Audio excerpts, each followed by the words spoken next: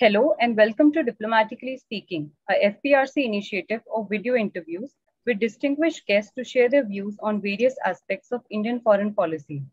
I'm Zoya Ansari, pursuing honors in political science from Zakir Husain Delhi College, University of Delhi. Today we have with us Ambassador Anil Wadhwa sir to throw light on vital issues relating to Indian foreign policy and relations. Ambassador Anil Wadhwa sir served the Indian Foreign Service from 1979 to 2017 as a member and has represented his country as the Indian ambassador to Italy, Thailand, Oman, Poland, San Marino, and Lithuania. During his tenure as Secretary East in the Ministry of External Affairs, Government of India, he oversaw foreign relations with Southeast Asia and West Asia, the Gulf, the Pacific, and Australasia. In addition to his service as the Indian ambassador, he also held the position of permanent representative to FAO IFAD, WFP, UN ESCAP, and headed the government relations, media and public affairs branches of OPCW in The Hague. Ambassador Wadhwa sir has been India's chief delegate to the East Asia Summit, ASEAN India Summit, Asia Europe Meeting Summit, ASEAN Cooperation Dialogue, the Arab League, Mekong Ganga Cooperation, and the ASEAN Regional Forum meetings. He has been leading the Confederation of Indian Industry, CII task force for writing the Australia Ambassador Economic Strategy Report for the Government of India. Ambassador sir currently also holds the position of being a distinguished fellow with the Vivekanand International Foundation, New Delhi, and contributes as an independent director on the boards of major corporations. Now I hand over to Professor Mahendra sir, Director, FPRC, to continue the proceedings. Over to you, sir. Thank you, Zoya. Uh, I welcome uh, Honorable uh, Ambassador Wadhwa to this program. And uh, I hope we will benefit uh, from his valuable views on different aspects of uh, India's foreign policy. Uh, sir, can you hear us and see us? Yes, can hear you properly and, and okay. see you also. Yeah, thank you. Okay, thank you, sir. sir, once again, let me thank you for sparing time uh, for this uh, event. And uh, we are really obliged to you because I know you are uh, you have a very hectic schedule. You are busy, I mean, in so many activities, even after your retirement. And uh, you have been a distinguished uh, diplomat. And I can say that you have been a prolific writer. You have defended India's position at different uh, world uh, summits, conferences, particularly UN conferences. So I would like to begin with uh, something uh, which uh, concerns your, uh, I can say, your position as Secretary East, because during that period, you had managed India's relations with East Asian countries. And East Asia has been a very, very uh, important uh, aspect of India's foreign policy. So, sir, I begin with uh, the questions now. And uh, I think uh, you can very well elaborate on various aspects of uh, the issue. First of all, I would like to ask you about East Asia. As you know, in 2014, the word act was added to India's uh, East Asia policy. And a uh, lot of uh, interpretations were made. A lot of you know, significance was attached to this addition of this word. I, I have talked to so many policymakers and others, and they said that uh, India has always been very, very careful about uh, relations with their neighbors. We have always cared very much uh, uh, Uh, so far as our relations with the neighbors are. So I think it started in 90 and it continued. And uh, now in 2014, this act word was uh, used uh, for our East Asia policy. So what is so significant about the addition of this word? How it is a little different. I mean, policy remains the area remains the same, but uh, uh, act uh, signifies something, which I think you can explain uh, in a much better way. Yeah, so uh, the engagement with the uh, countries of Southeast Asia um, really began in the 90s uh, in real earnest when India uh, coined uh, the Look East policy. And after that, we saw there was a gradual improvement in the relationship uh, where India was uh, from a dialogue partner, then it went on to graduate into a strategic partner um, of the uh, ASEAN countries. Uh, but in 2014, uh, the time was actually ripe to change this policy from just look east into act east for a number of reasons. And I'd like to explain those uh, point by point. First, um, there was a realization that if India, India's northeast had to uh, be developed, then it was necessary there has to be a linkage between the northeast and countries of Southeast Asia, uh, and that they had to be open to the outside world. Um, and uh, without that, that region would not develop sufficiently. Uh, so that's exactly what we're seeing right now. You can see that happening on the ground. And that means that the Northeast itself has to be developed. It has to be physically and digitally linked to the countries of Southeast Asia. Uh, and then the trade and investments have to improve. Uh, so this, this government, of course, has been trying very hard to do that, and that is uh, quite evident. Second issue uh, was the question of uh, increasing investments and trade. Uh, it's not that India was not trying to do that because just before 2014, we had actually signed some very important agreements in this field. The um, agreement on goods with, with ASEAN had been signed, and the agreement on um, investment services investments, of course, uh, had was being negotiated, but it was not concluded. And then finally, you know, it's been ratified only now in 2017, uh, 19. Uh, so this has been a whole process. Uh, at the same time, there was this uh, prospect that the RCEP negotiation would begin. Uh, and so commerce and investment became uh, another plank of the Act East policy, where there were a number of components to it. Um, and if you remember that in 2015, uh, Prime Minister Modi also put forward a proposal for a $1 billion um, you know, line of credit for countries of CMLV and Southeast Asia uh, so that they could be connected uh, digitally, digitally as well as uh, physically, and they had to make an application under that in order to make use of uh, that fund. Uh, again, for the CMLV countries, 500 crores set aside at the same time so that they could get linked to India through trade and investments. and then, of course, the Act East policy also meant that there were three or four major projects that had to be speeded up.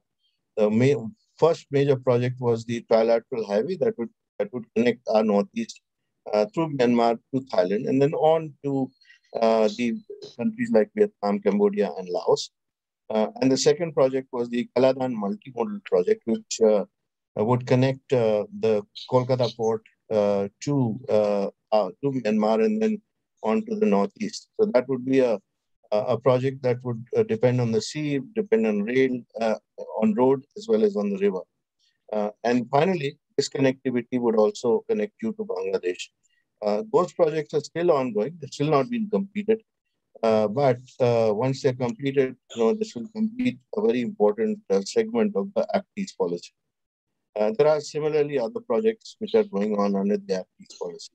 The third element of this was the cultural connect because um, you know for centuries uh, India had been connected very closely with countries of Southeast Asia, but uh, unfortunately there was a gap uh, for many centuries in between when uh, India could not engage with countries, and after independence, uh, because of the uh, the the power blocks which came into being at that point in time, India was not in the American or the Western camp at that point in time, whereas a lot of countries in Southeast Asia came into that camp. So politically, there was geopolitically, there was a divide. And until 1990s, uh, we did not have that kind of an engagement that we should have had, uh, bringing about a certain gap culturally with countries of this region. Uh, so that connect has been revived, and you can see that happening uh, in terms not just in uh, the ASEAN engagement, also in the Mekong Ganga uh, cooperation engagement, setting up the Nalanda University, for example, uh, and making sure that we revive the Buddhist circuit in the Northeast and other places in India so that that Buddhist connect can be revived.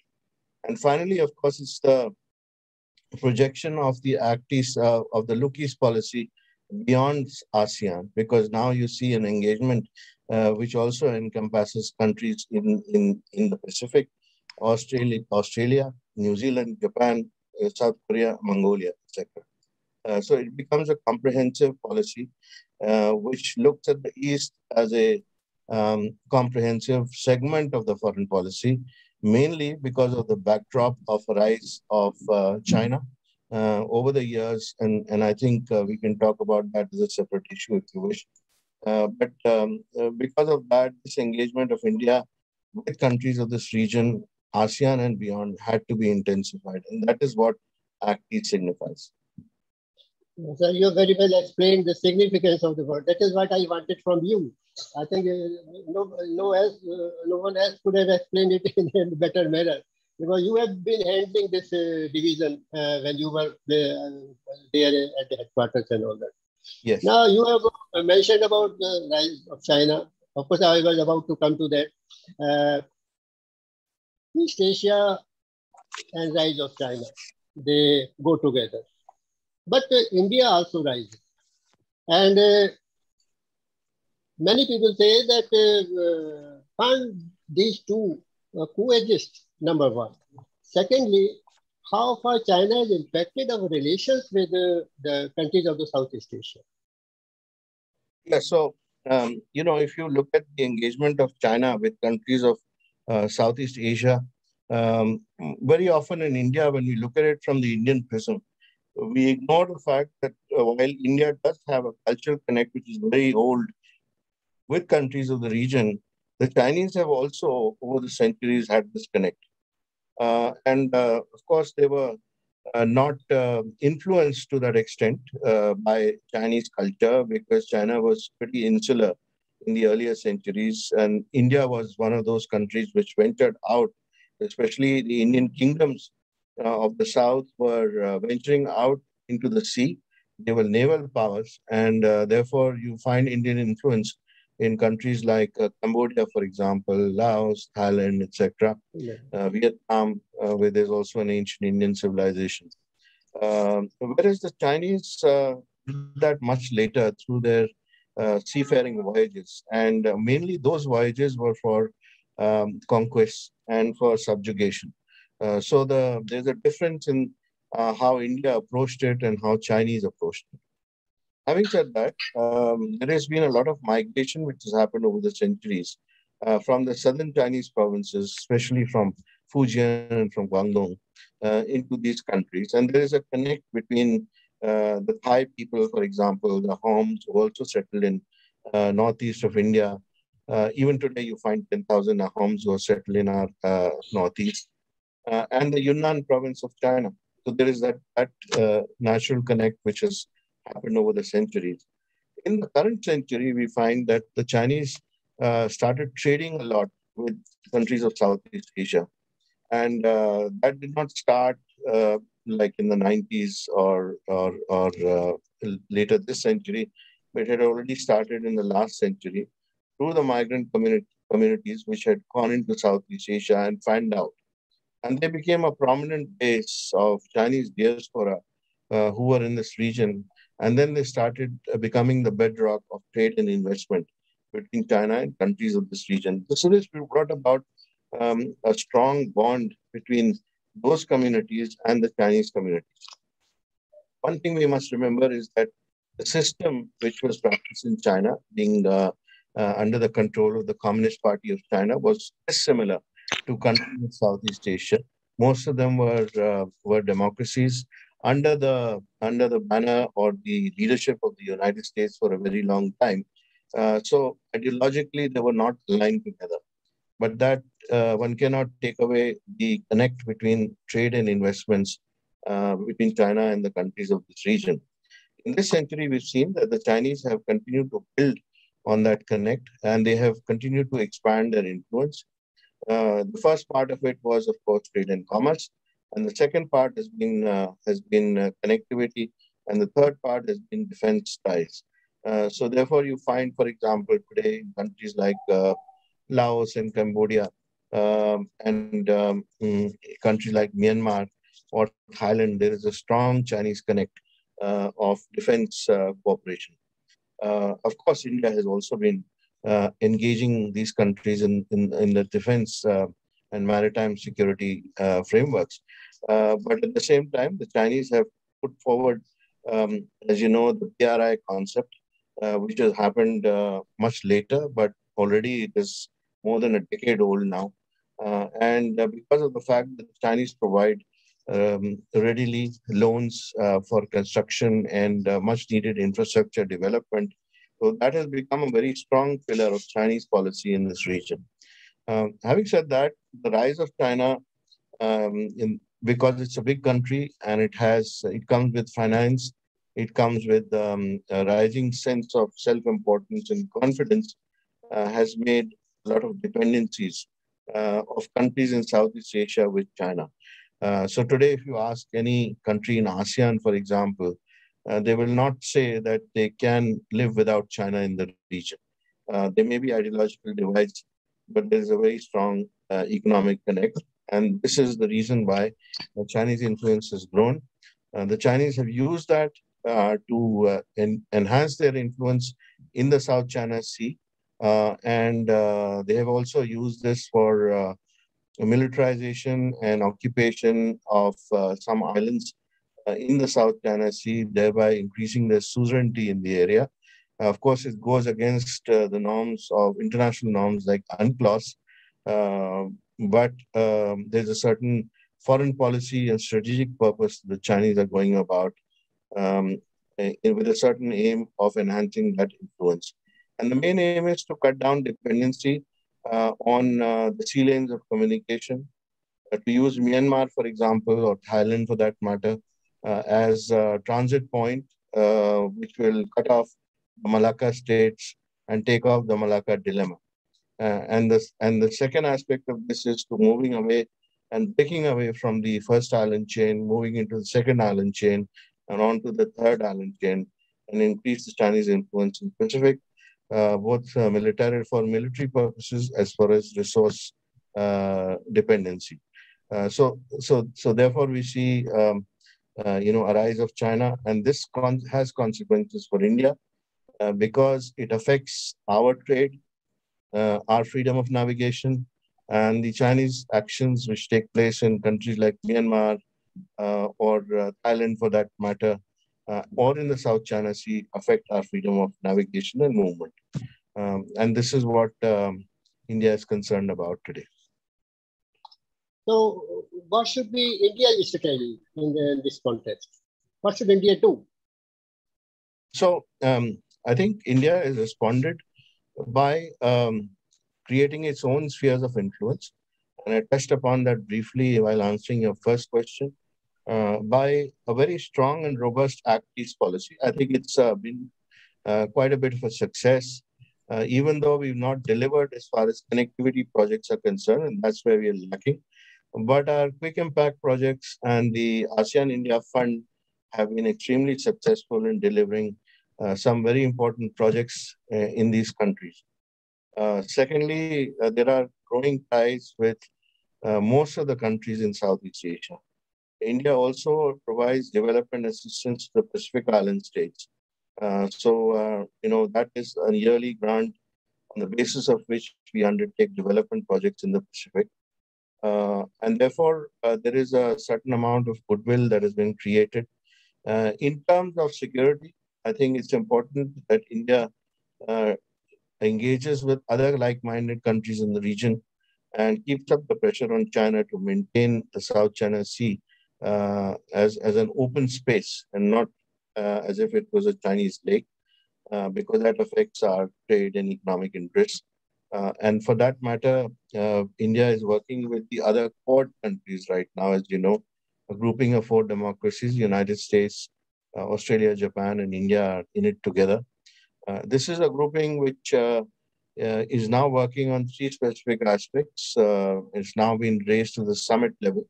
Uh, and going forward, um, through that cooperation, it will be able to engage much more with the ASEAN. Uh, sir, uh, uh, you have just mentioned about the Quad and uh, how it is going to uh, contain the influence of China so far as the South China Sea is concerned. One thing that uh, comes to our mind is that uh, US sometimes says pivot to Asia, sometimes says that we are out of Asia. I mean, a little sort of unreliability uh, so far as the US uh, policy behavior is concerned is uh, often to be seen. Now, US is uh, very much uh, in favor of uh, and Eh, say that eh, this is the only eh, you know, combination of countries that can contain China uh, so far as uh, you know the passage of uh, maritime ships and all this is concerned. So how reliable the US is about Asia? I mean, they have been coming, they have been going out of Asia. I mean, that is something which has to be seen and to be kept in mind. Yes, so the pivot to Asia, if we recall, um, was uh, started during Obama administration. Um, that was a time that the yeah. United States was deeply engaged in the Middle East. It was in a quagmire as far as Syria was concerned. Um, and it was also engaged very deeply in other parts of the world, more so in its own neighborhood, where there were um, issues and problems, especially in countries like Venezuela, etc. And that was the time that China grabbed the opportunity to increase its influence in, in the region of Southeast Asia. Uh, and there was a military rise of China, which was not foreseen at that point in time, backed on a very strong economic basis and, and expansion. Uh, and because of that, uh, the region got neglected. Uh, the countries of uh, this region who were dependent on the United States and were bound, in fact, in many cases through treaties and agreements, started looking more and more at China. Uh, and that brought about the realization in the United States that there was no point spreading themselves out too thin. Uh, and therefore, they pulled out of, uh, uh of Middle East in a large way and concentrated instead, started concentrating itself themselves on uh, Southeast Asia. However, the Obama administration was, was not very decisive as to what to do with the rise of China militarily. Uh, they let the Chinese at that point in time, in my view, uh, occupy and uh, populate and uh, um, you know use the South China Sea to their advantage. There was not much of resistance at that time. If you remember, at that time there was also talk of a G2 grouping, uh, where China and US could work together on a number of issues across the world, mainly to uh, for for both their benefits. So the US was, uh, in my view, pussyfooting, if I may use that word, uh, during that period. It did not um, adopt policies which could have deterred China sufficiently enough. So that was the pivot of Asia for you. Uh, after um, Obama Trump administration became much stronger, but they became stronger because they realized that the rise of China meant that the United States would be relegated to a secondary position to China over the years beyond 2025, somewhere around 2028 or 2030 that the Chinese were going to overtake the United States economically and possibly come very close to uh, them militarily and in the naval field as well.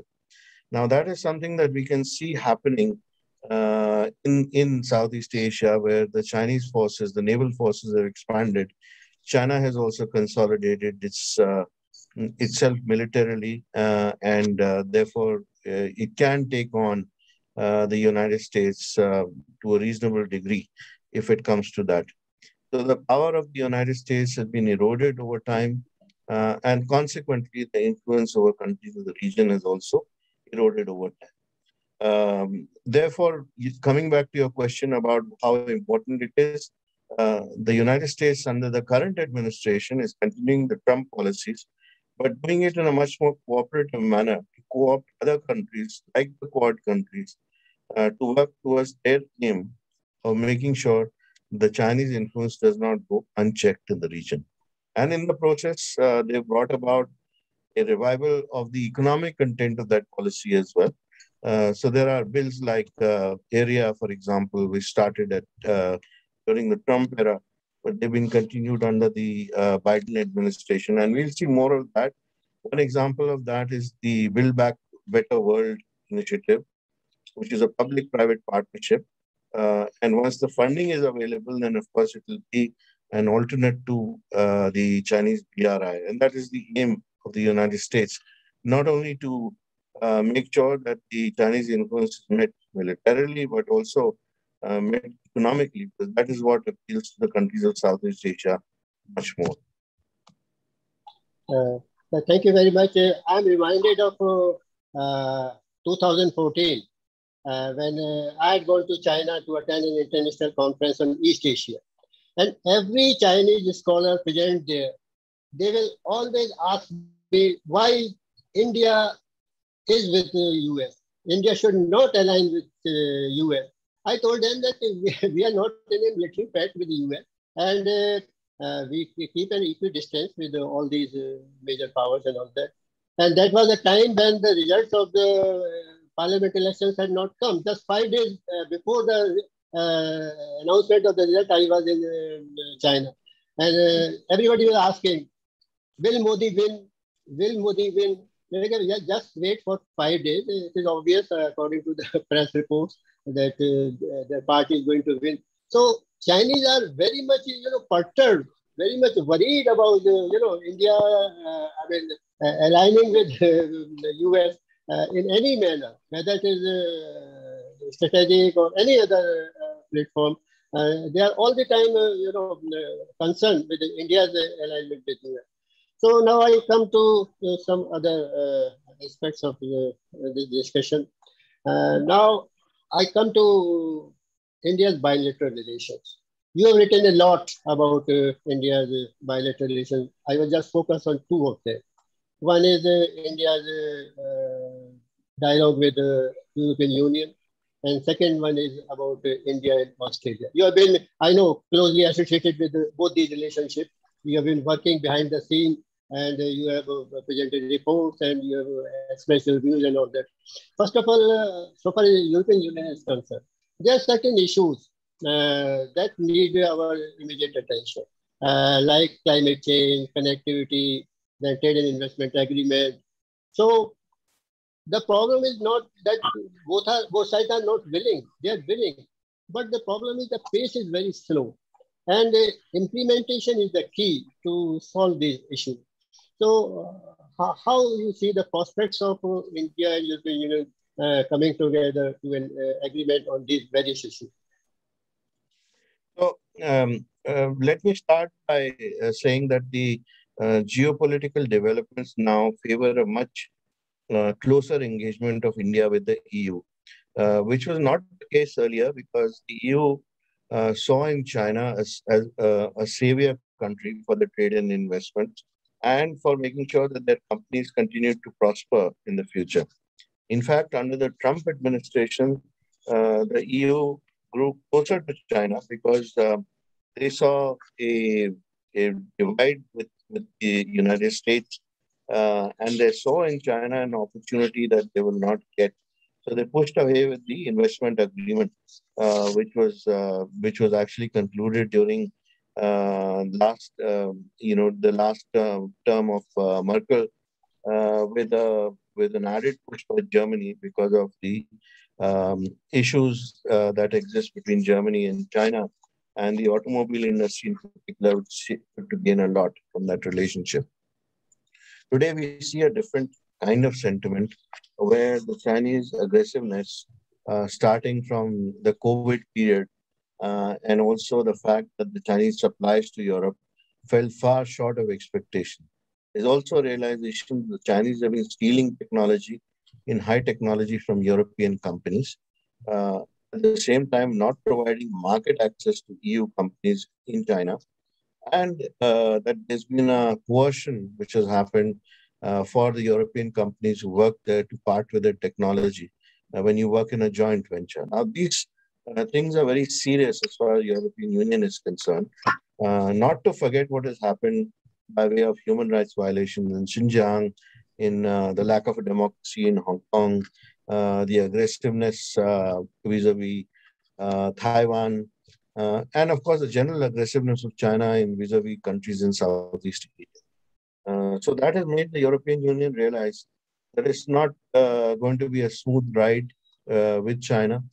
Uh, and therefore, the uh, ratification of the investment agreement has been put on hold for a while. How long that will continue, we cannot say and we cannot predict. It will depend a lot on Chinese behavior. But there's no doubt the European Union uh, sees China from three different prisms.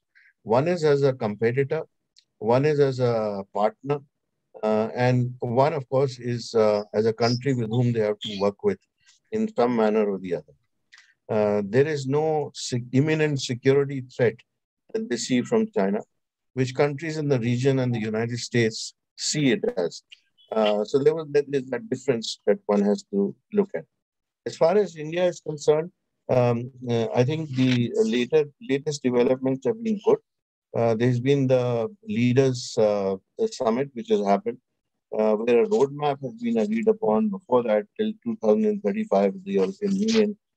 But at the same time, there's been agreement of starting an investment agreement, standalone investment agreement, uh, renegotiating uh, the uh, trade trade investment agreement, which is will happen after eight years, and then um, you know geographical indicators agreement.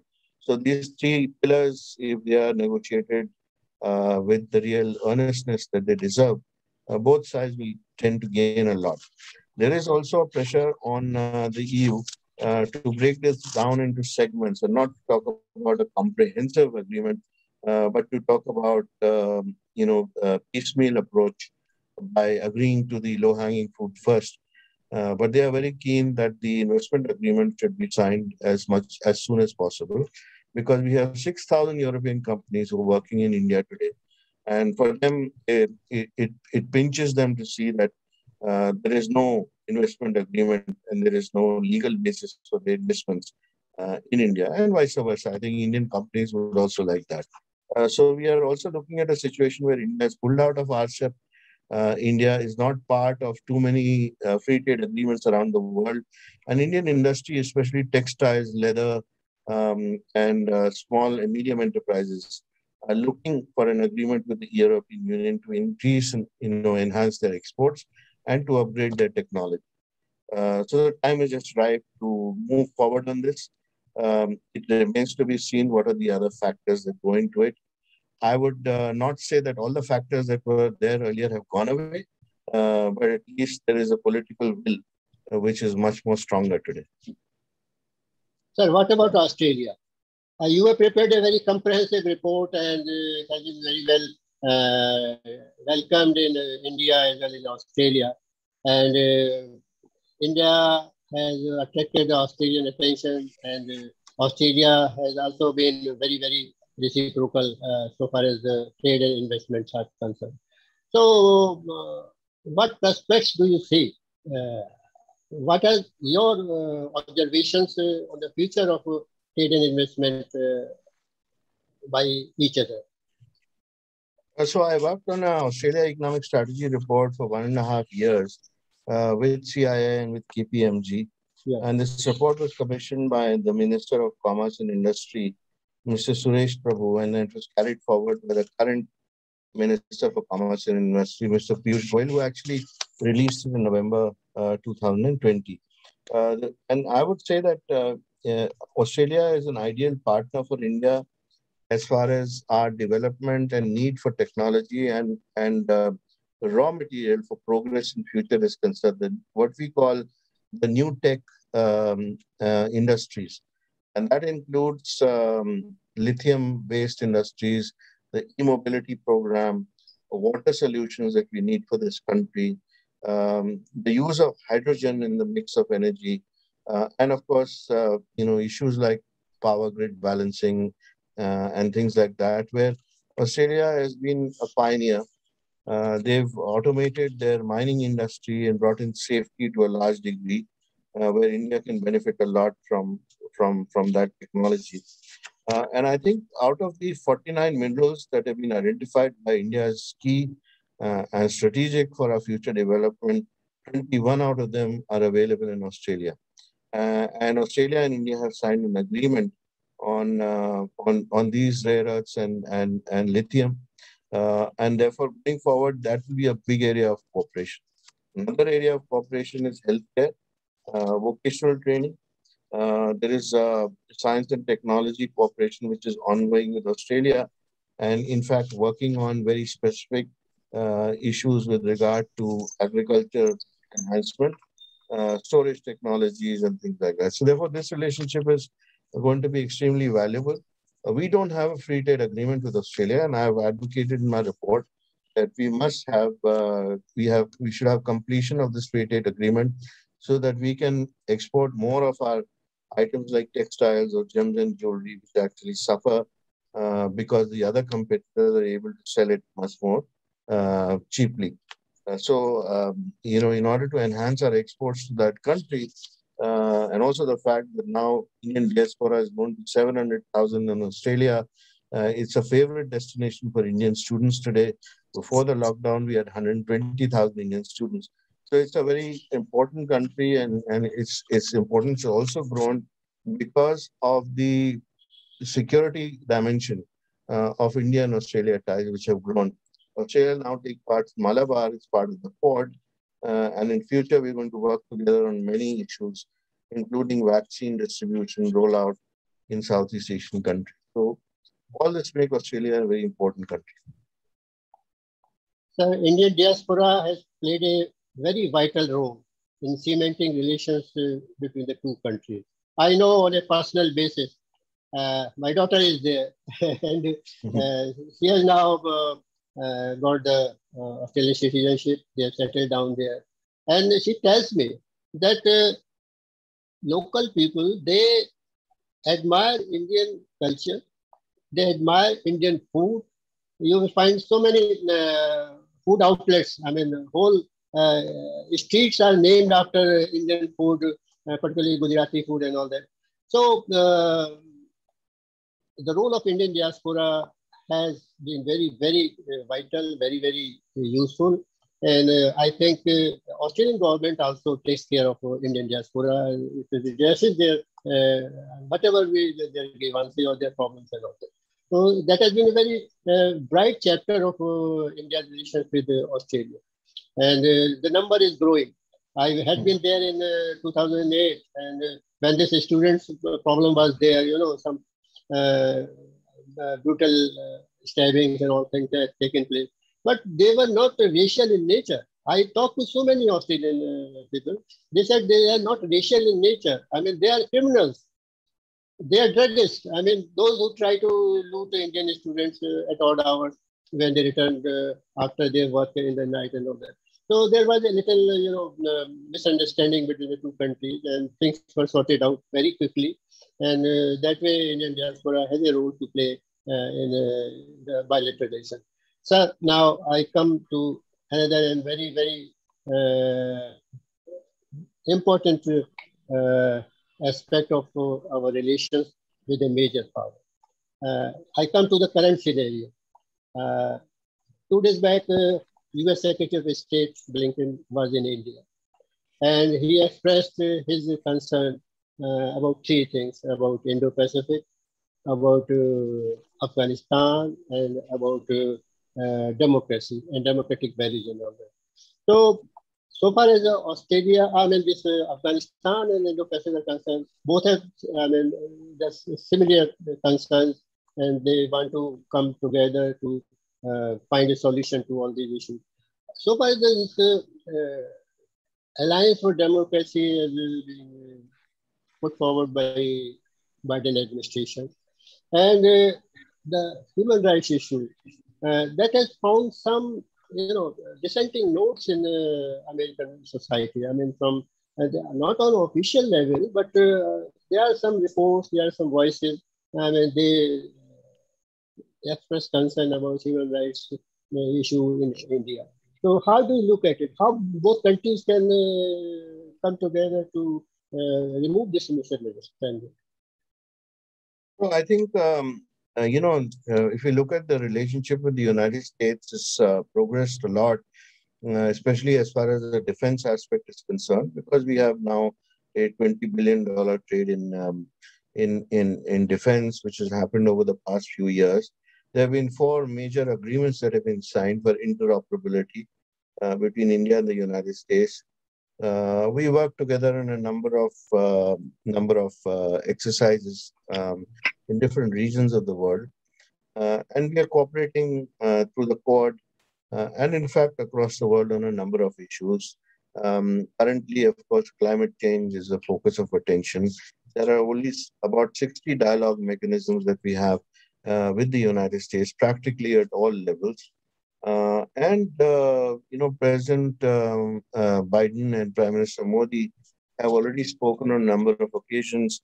They participated together in the Quad Summit, the G7 Summit, the climate leaders, all virtual events, of course. And they're going to possibly meet in person during the Quad Summit, which is going to come up. Um, now, quite likely at the bilateral, uh, at the bilaterals, when, when that takes place, uh, I think what is going to be important is how they would definitely talk about the geostrategic aspects of where both of them uh, are involved. And democracy is a very important pillar because both countries are democratic countries. So the Biden administration lays a lot of stress on, on democracy. And of course, it lays a lot of stress, being a democratic government, on human rights as well.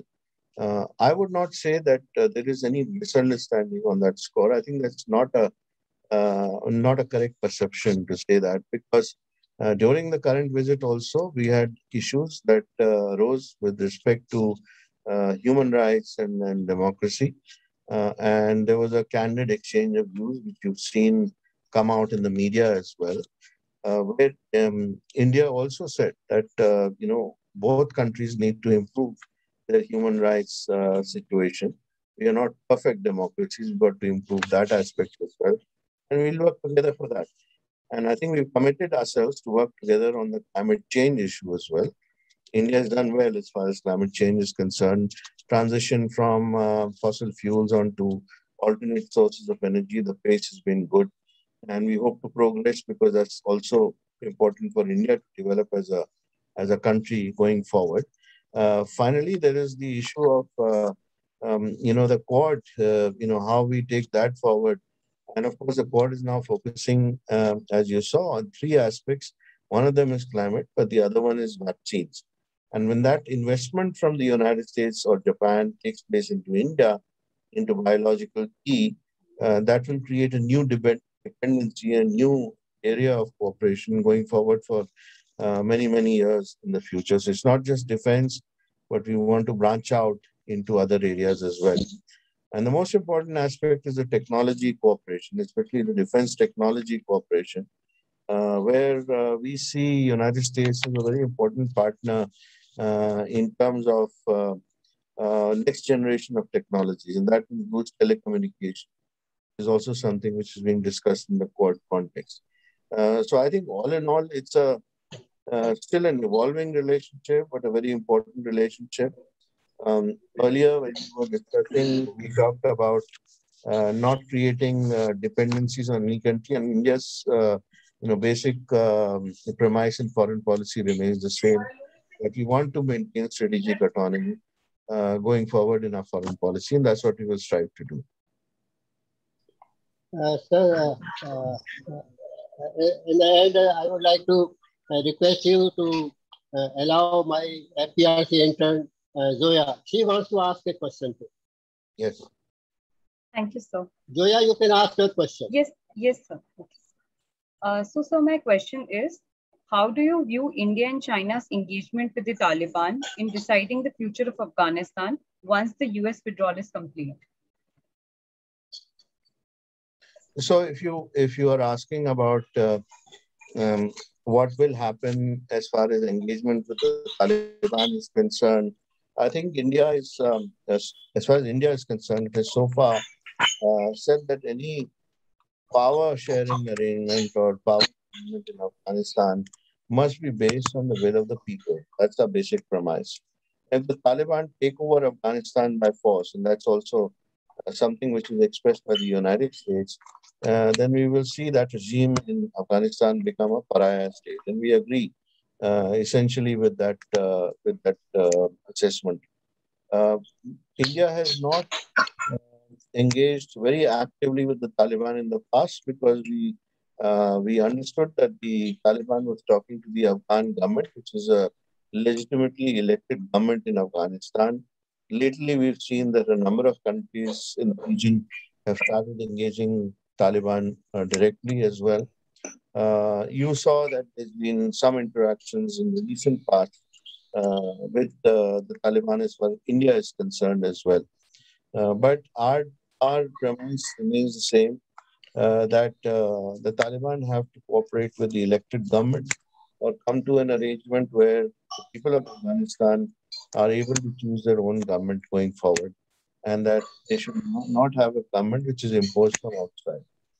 Uh, the Chinese situation is slightly different uh, because the Chinese are working in Afghanistan, as you know, and they are they have interest in the, um, the mineral uh, resources in Afghanistan. They have interest also in ensuring that their uh, Xinjiang region, which is quite restive, uh, does not uh, feel the effect of radicalism from Afghanistan.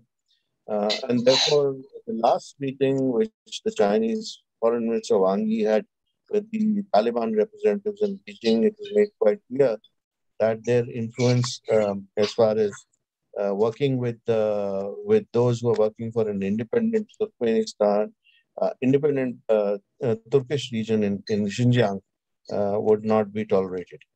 And therefore, the Chinese interest is quite clear that they do not want that region to be radicalized.